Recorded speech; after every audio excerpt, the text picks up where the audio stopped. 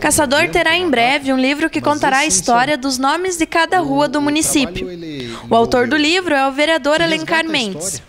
O livro Caminhos de Caçador, Dicionário de Ruas, está na fase final. Alencar explicou sobre o objetivo do livro. É um dicionário das ruas da cidade, ou seja, a explicação de por que aconteceu cada uma das homenagens, são mais de 700 ruas que existem em Caçador e cada uma com o seu nome homenageia uma cidade, um local, um evento, uma data, mas essencialmente pessoas.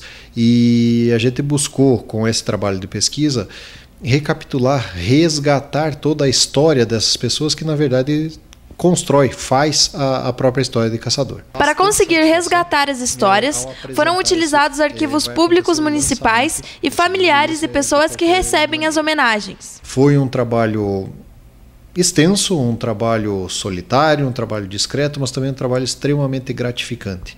É, uma, é um livro que ele está muito interessante, é realmente uma, uma, um convite a que todos participem, possam procurar o seu pai, seu avô, seu familiar que tem essa, essa homenagem, ou então a rua onde cada um mora, todas as ruas estão descritas ali e realmente é uma, é uma situação que nos traz bastante satisfação é, ao apresentar esse, esse livro para a comunidade de Caçador. O livro será lançado em sessão solene na Câmara de Vereadores no dia 22 de março. E esse lançamento ele vai acontecer inicialmente em formato eletrônico, ou seja, vão ser distribuídos CDs, vai ser disponibilizado o acesso em sites desse, desse material e também disponível para download do, do arquivo inteiro é, para ser utilizado sem nenhuma restrição é, de qualquer maneira. Durante o período de um ano, esse, esse conteúdo eletrônico vai ficar disponível às pessoas exatamente para que as famílias tenham o conhecimento da, do que está escrito nesse, nesse livro e possam contribuir, possam sugerir alterações ou alguma coisa assim.